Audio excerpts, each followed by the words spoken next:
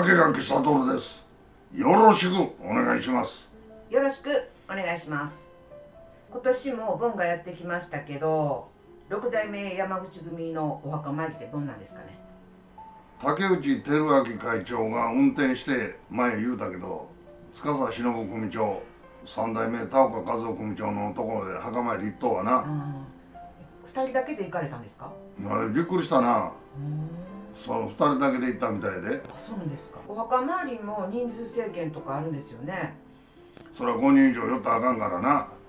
何人寄ってもええとこもあるやろけど人数制限があるので各自命名で行くように通達されとはな。あそうなんですか、うん、で野内組は台風が来るので早めに済ましたんちゃうかな神戸山口組井上邦夫組長は山本健一組長や渡辺義則五段目組長のお墓参りとか行かれてるんですかね？今期に関しては聞いたことないな、行ったいう話も行くいう話もな。三代目桑田兼義組長の養子に井上邦夫組長になっとったけど桑田の組長の墓参りも行ったって聞かへんもんな、動きが取りづらいん違う？そうですよね。ちなみに会長はもうお墓参り終わられました？私は今日朝一番に墓参り行ってきたよ。会長が現役時代亡くなられた親分って竹中正久親分だけですよね？そうやな。竹中正久親分だけやわ。歴代の親分ってお亡くなりになられてるんですよね？全員死んだな。私5人持ったけど坂本義一会長これ一番最初の私の親方よ、この人が平成9年8月12日に死んだ。その時はまだ私長野会でで坂本会長も最後にもう一遍だけやると。俺はお前とこの顧問になって頑張るから言って。そやから義龍会のこの名察顧問坂本義一であげとったんよ。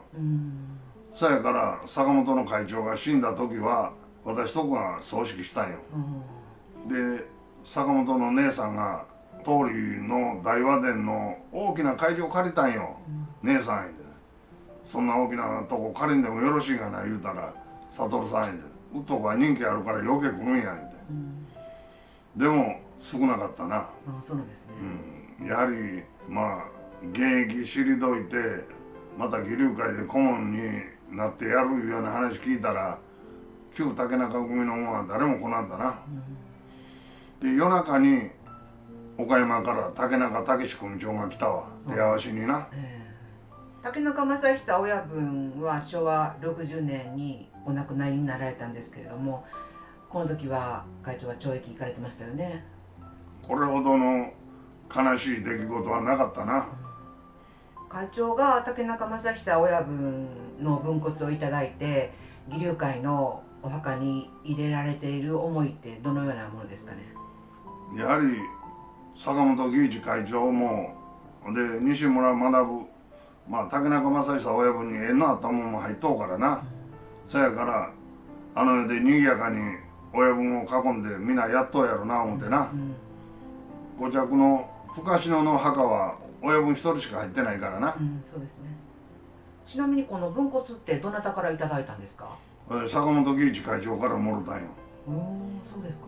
入れる墓ないからな、ええ、これ不思議やけど分骨を入れたぐらいからこれ山口君も分裂して騒がしになったんよ。あそうなんですか。うん。そやから人の霊いうのは、うん、この世に生きとう人の魂を動かす場合あるやろな、うん、あるでしょうね。目に見えないものってあるでしょうね。それは目に見えないものが人の規約であり霊気やな。たけし組長は平成20年にお亡くなりになられたんですよね。あ3月15日に死んで私死んだ相手一報聞いて岡山まで行ったよ。お通夜と葬式に行ってほ、うん。で四十九日も行ってその時に懲役20年行った大西誠一と岡山竹中武組長の自宅の2階で会うたな。確か武組長の骨食べられたんですよね。何度も言われてますけど。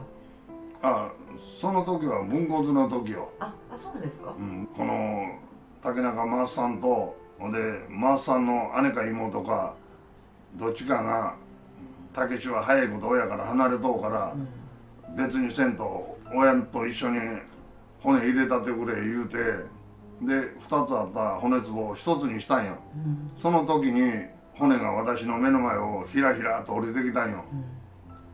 で私が手出したらその骨がすっぽり手に収まって無意識のうちに骨をガリガリ噛んだな。中野太郎会長はお亡くなりになられて2年半ぐらい経ちますが、あ令和3年の1月10日死んだな。私中野太郎親分で一つまあここに残っとんのはこれ大阪の病院に入院しとう時に私の兄弟分の片岡明夫が中野の会長の見舞い行きまんねや言て一緒に行きまへんか言って声かけられたんよ、ほんでも私その時は肩になってなまだ何も親分に語るほどのもんがなかったから、まあ中野会の時よりおじめな姿は見せたくなかったわけよ、でやっぱり出世してから親分に会おう思てな、そやけどその機会逃しとるから親分には会うてないわな。行かれなかったこと後悔されてます？言っとったらよかったと思うよ。でも私は中野太郎親分の姉さん里子姉やな。のお母さんが死んだ折にうちの嫁の名前で線香送ったんよ、な親分から電話あって山口組のもんがこんなん聞いたら嫌がるぞと、そんな気つかんでもええって。ほんで中野太郎親分ともやっぱりそなして薄い付き合いはしとったわけよ。古川正明組長ですが引退されて数ヶ月後にお亡くなりになられたんですよね。平成17年の11月に引退したんよ。まあまあ私もそやから同じ時に引退しとるわな。で古川正明と私との違いはこれ向こうは引退よ。私の場合は破門所でもこの引退してから2ヶ月後に死んだな。18年の1月寒い時を。私は古川正明が死んだって聞いて本宅まで行ったよ。で杯を枕元に置いて水杯にした。葬儀で忘れられないのが竹中正久親分の清美姉さん平成25年にお亡くなりになられましたよね。あーこれも1月9日やったかな。で10日の通夜やったんよ。この時私行ったんやけど菊の祭壇に「司」と一文字だけ書いたやつが両サイドの一番上にあったな。あで祭壇の位置から下がって「司忍」って書いた札が2つあってその下に高山清頭の名札があったわ。ものすごい印象に残った。